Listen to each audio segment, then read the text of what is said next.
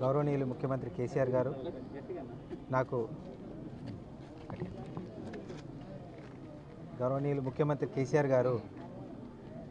మమ్మల్ని పిలిచి నాకు బీఫామ్ ఇవ్వడం అనేది నిజంగా నా జన్మధన్యంగా అదృష్టంగా భావిస్తున్నాను. రెండు వేల పద్నాలుగులో తెలంగాణ తీసుకొచ్చిన తర్వాత రెండు వేల మూడులో పాదయాత్ర చేసినప్పుడు ఈ నాగార్జున సాగర్ నియోజకవర్గ కష్టాలు తెలిసినట్టు తెలిసిన వాడై ఆ రోజు మా నాన్నగారు పార్టీలకు రాగానే నోముల నరసింహయ్య గారు మీలాంటి వాళ్ళు నా నాగార్జున సాగర్ నియోజకవర్గ అవసరం అని చెప్పేసి ఆ రోజు ఇక్కడ నిలబెట్టడం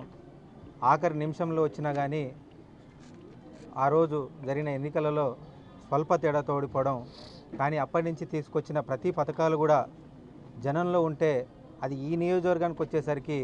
ఎవరికి కూడా సక్రమంగా అందకపోవడం మా నాన్నగారు ప్రతి విషయాన్ని అదే కేసీఆర్ గారి గౌరవనీయులు కేసీఆర్ గారి దృష్టికి తీసుకెళ్ళడం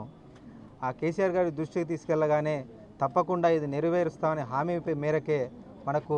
రెండు వేల పదిహేడులో ఎప్పుడో కీర్తిశేషులు గుణమైన రామ్మూర్తి యాదవ్ గారి కాలంలో మొదలుపెట్టినటువంటి వరద వరద కాలువ కావచ్చు ఇదే నిడమనూరులో అప్పట్లో దరఖాస్తు పెట్టుకున్న కోర్టు కావచ్చు ఇట్లా ఎన్నో అంశాలని అప్పుడు కేసీఆర్ గారి దృష్టికి తీసుకెళ్ళగానే వెంటనే వాటిని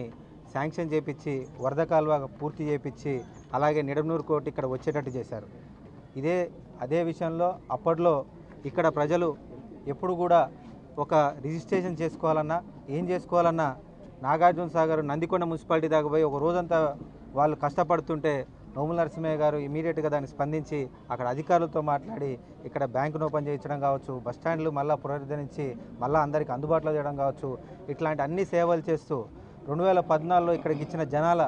మాట మేరకు ఖచ్చితంగా ఇక్కడనే ఉంటా మీ మధ్యలోనే ఉంటా. ఎలాంటి కష్టం వచ్చినా మీకు కూతవేటు దూరంలోనే ఉంటానన్న మాట మేరకు రెండు వేల పదహారులో మా నాన్నగారు ఇక్కడనే ఇల్లు కట్టుకొని ప్రతి ఒక్కరికి అందుబాటులో ఉన్న సంగతి ఇక్కడ ఉన్న ప్రతి ఒక్క మరి ఇక నాగార్జున సాగర్ నియోజకవర్గ ప్రతి ఒక్క కార్యకర్తకు ప్రతి ఒక్క అమ్మకు అక్కకు ప్రతి ఒక్కరికి తెలుసు. దానికి అనుగుణంగానే రెండు వేల పద్దెనిమిదిలో ఇక్కడ ప్రజలు కేసీఆర్ గారు ఎన్నో పథకాలు తెచ్చినా మాకు సక్రమంగా అందట్లేదు. ఖచ్చితంగా ఇక్కడ టీఆర్ఎస్ అభ్యర్థి అందులో నోముల నరసింహయ్య గారు ఉంటేనే మాకు అందుతుందని చెప్పేసి ఆ రోజు గౌరవనీయులు కేసీఆర్ గారు బలపరిచినటువంటి మా నాన్నగారిని భారీ మెజార్టీతో గెలిపించడం సంగతి మీ అందరికీ తెలుసు. అట్లా ఐదు సంవత్సరాలలో ఖచ్చితంగా ఇక్కడ మేనిఫెస్టోలో పెట్టిన ప్రతి పథకం రెండు వేల పద్నాలుగు నుంచి కావచ్చు రెండు వేల పద్నా పద్దెనిమిదిలో ప్రవేశ పద్దెనిమిదిలో ప్రవేశపెట్టిన ప్రతి పథకం మీ అందరికీ అందజేస్తా మీ మధ్యలోనే ఉంటా అని చెప్పేసి చనిపోయే ముందు రోజు కూడా ఇదే నియోజకవర్గం గురించి ఆలోచించుకుంటూ మా మధ్యలో మాట్లాడుతూ తను చనిపోతున్నా అని ఏ రోజు అని మాతో చెప్పలేదు. ముందు రోజు కూడా ఇదే నియోజకవర్గం నుంచి మాట్లాడుతూ అనుకోకుండా మూడు నెలల క్రితం చనిపోవడం ఆయన చనిపోయిన తదనంతరం ఈరోజు ఈ బై ఎలక్షన్ రావడం ఈ బై ఎలక్షన్లో ఈరోజు కేసీఆర్ గారు నన్ను బలపరచడం దీనికి సంబంధించి ఇక్కడ జనాలందరూ గత మూడు నెలలుగా గత మూడు నెలలుగా మేము ఏదైతే రెండు వేల పద్దెనిమిదిలో ఎలక్షన్ వచ్చినప్పటి నుంచి కూడా మాకు కేసీఆర్ గారు ప్రతి పథకం గురించి మేము పడుతున్న క- ప్రతి కష్టం గురించి కేసీఆర్ గారికి తెలియజేసి ఇక్కడ నెల్లికల్ లిఫ్ట్ డిగ్రీ కాలేజు ఆలియాలో స్టేడియము మిగతా రోడ్లు అలాగే ప్రతి ఆఖరి టైలెండ్ ప్రతి ఒక్క ఎకరాకు కూడా నీళ్ళు అందించింది. ఇదే ప్రతి ఒక్క నాన్న ఆయకట్టు నానాయకట్టుగా పిలుచుకునే ఈ నియోజకవర్గంలో రెండు కార్లు ప- పంటలు పండించుకునే విధంగా నీళ్ళు అందించేవంటి కేసీఆర్ గారికి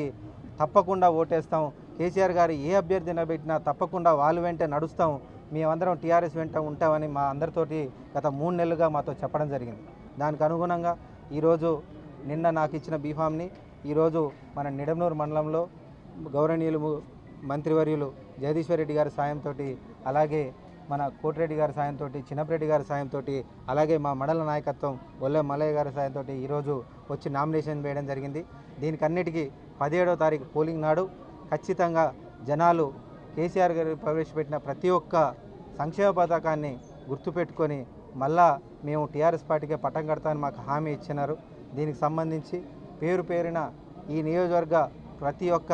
అక్కకు చెల్లెకు బాబాయ్లకు పిన్నిలకు తాతలకు అందరికీ పేరు పేరున నమస్కారాలు చెప్తూ వాళ్ళందరినీ ఒకటే కోరదలుచుకున్న ఈరోజు మా నాన్నగారు ఈ నియోజకవర్గంలో లేరు. మీరే నా తండ్రిగా భావించి మీరందరూ మీ బిడ్డగా నన్ను ఆశీర్వదిస్తారని మనస్ఫూర్తిగా కోరుకుంటున్నాను.